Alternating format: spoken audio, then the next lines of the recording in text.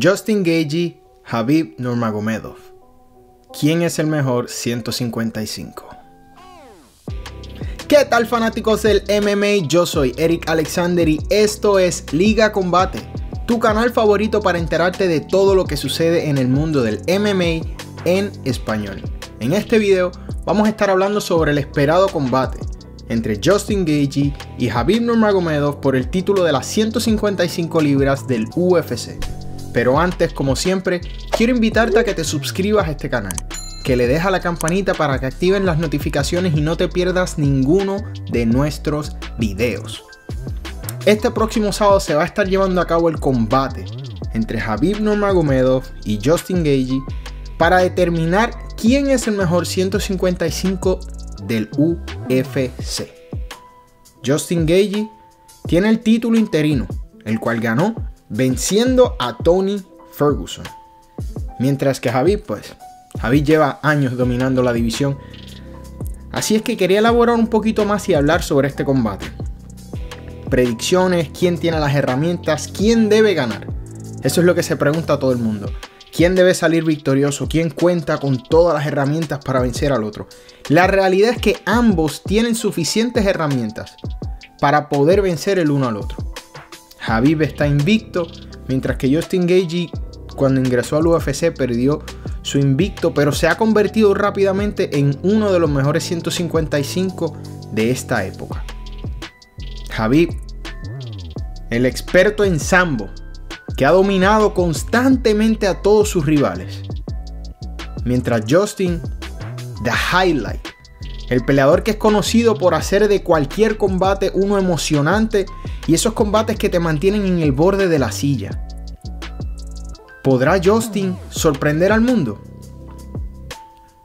Justin viene de un background de lucha. Luchó hasta colegial y en la lucha grecorromana obtuvo muchos palmares. Se destacó bastante.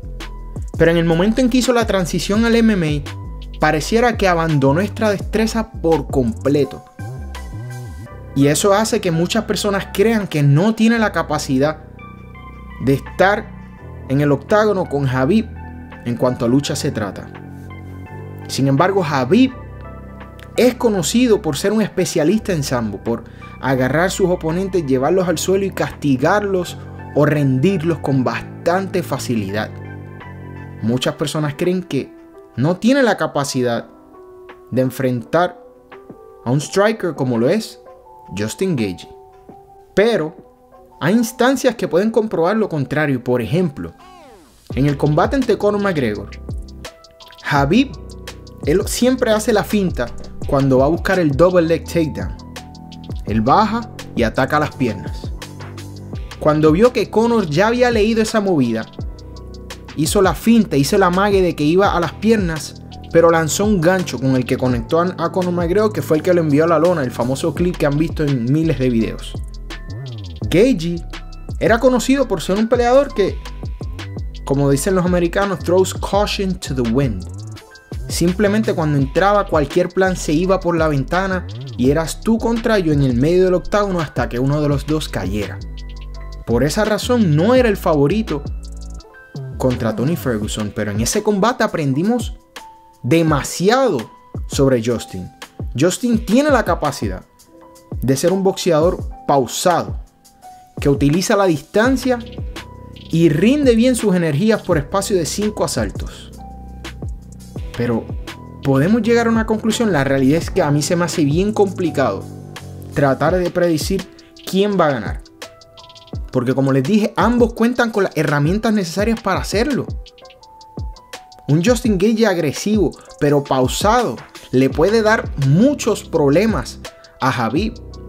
¿Por qué? Cuando Javib enfrentó al Ayacuinta en Brooklyn, fue una pelea de último momento y claro, no estaba preparándose para una persona como lo es Al Ayacuinta. Pero de igual manera, Al Ayacuinta no se estaba preparando para una persona como Javib. Entonces, Al fue capaz de detener bastantes de los intentos de takedowns de Javib y hacerle la pelea un poco complicada, forzando a Javib a pelear de pie, algo que a pesar de que ha mejorado significativamente sigue siendo su debilidad. Y pongamos el caso hipotético de que Justin es capaz de detener los takedowns. Estamos hablando de que el combate se mantendría de pie y quién tiene la ventaja y los beneficios.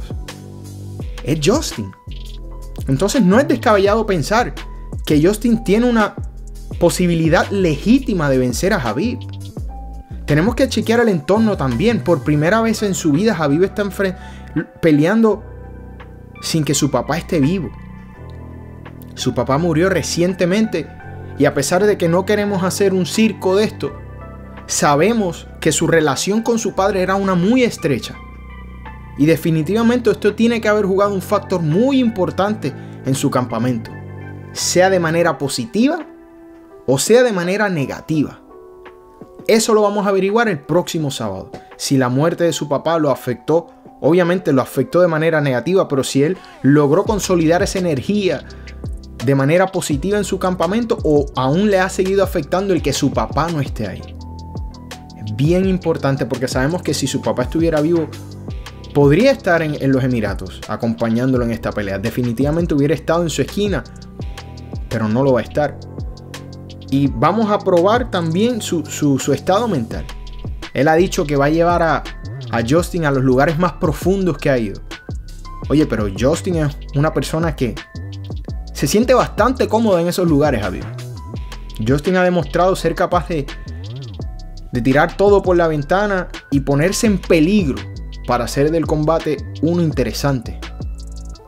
Lo hizo con, con Tony y fue una de las sorpresas más grandes de este año, me atrevería a decir. ¿Será capaz de hacerlo con Javi?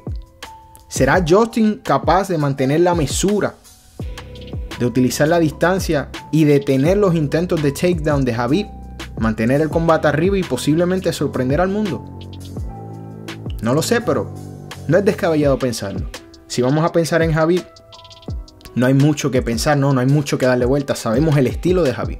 Javi te agarra, te lleva a la jaula, te lleva al suelo, te castiga o te rinde. Como dicen, no pare más la mula. No vamos a esperar el, display más técnico de, de striking de Javi. Pero quién sabe. Todas las personas mejoran. Él está en el pico de su carrera físicamente. Entonces, no podemos pensar que todavía no hay espacio para crecimiento para Javi. De la misma manera en que lo hubo para Justin, lo hay para Javib y eso hace este combate uno muy interesante. Porque Javib está tratando de alcanzar las 30 victorias invicto. Está tratando de cementarse como posiblemente uno de los mejores artistas marciales que han competido dentro del UFC. Y este combate es necesario para poder seguir cementando ese legado. Sin embargo, Justin disfruta de aguarle la fiesta a las personas. Y es una persona muy peligrosa cuando está enfocado. Déjame saber qué opinas tú. ¿Quién crees que va a ganar este combate? ¿Quién tiene mayores posibilidades en tus ojos? Déjamelo saber aquí en los comentarios. No olvides compartir este video con todas tus amistades. Y será hasta la próxima.